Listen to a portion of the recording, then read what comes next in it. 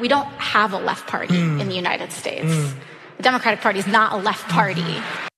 That's Representative Alexandria Ocasio Cortez speaking the truth about the Democratic Party during an event to commemorate Dr. Martin Luther King Jr. Now, this put the establishment in quite a tizzy, and we'll explain why. But let's hear more of what she had to say. We don't have a left party mm. in the United States. Mm.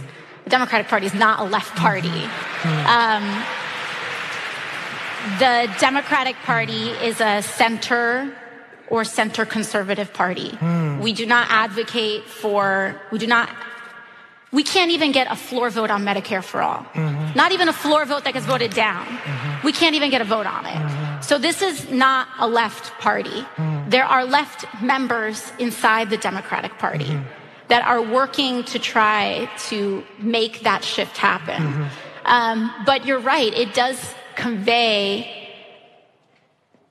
a certain uh, sentiment about true believers. Mm-hmm.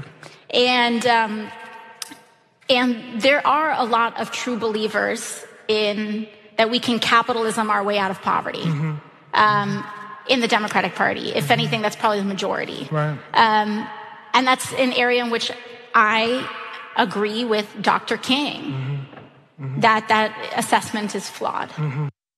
So AOC is absolutely right. And she had made similar comments recently while speaking to New York Magazine. She was quoted as saying, they let anybody who the cat dragged in call themselves a progressive. There's no standard. Democrats can be too big of a tent. And she's right because even in this election, you have people like Senator Amy Klobuchar referring to herself as progressive, when in reality, and she says this on the debate stage all the time, she's all about practicality. She wants to be practical. She doesn't want to uh, promise things that she's not really gonna fight for, right? So uh, she wants to be measured. She wants to temper the expectations of voters, when in reality, it doesn't need to work that way.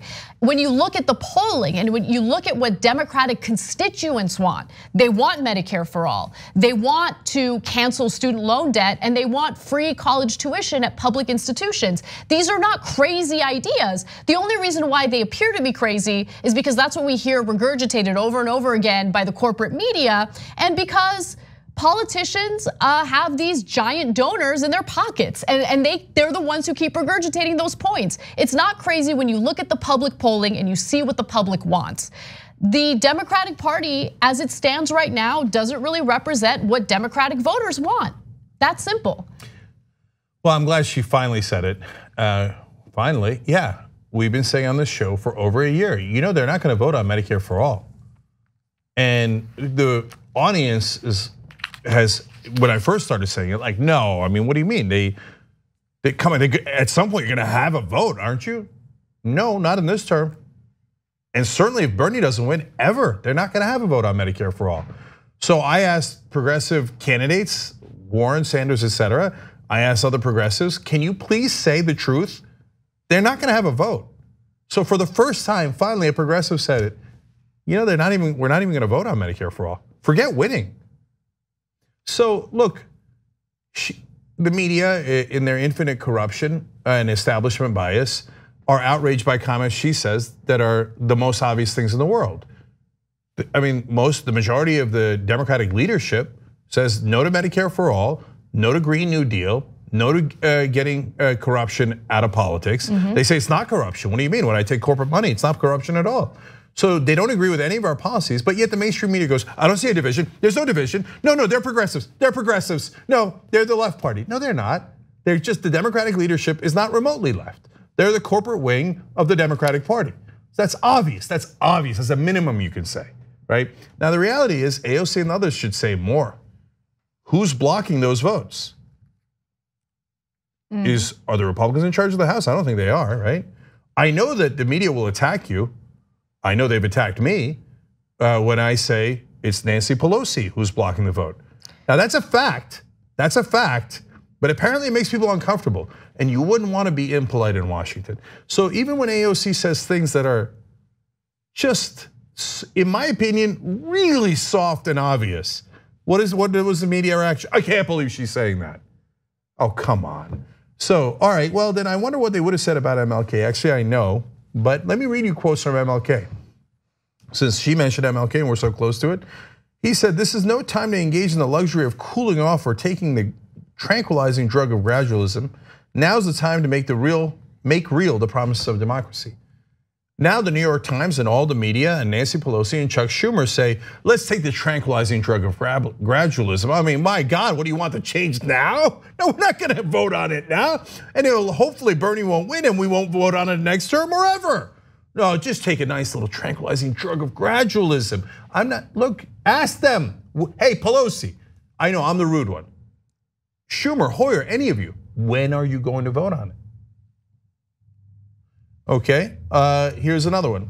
Uh, King said, We are now faced with the fact that tomorrow is today. We are confronted with the fierce urgency of now. In this unfolding conundrum of life and history, there is such a thing as being too late. This is no time for apathy. This is a time for vigorous and positive action.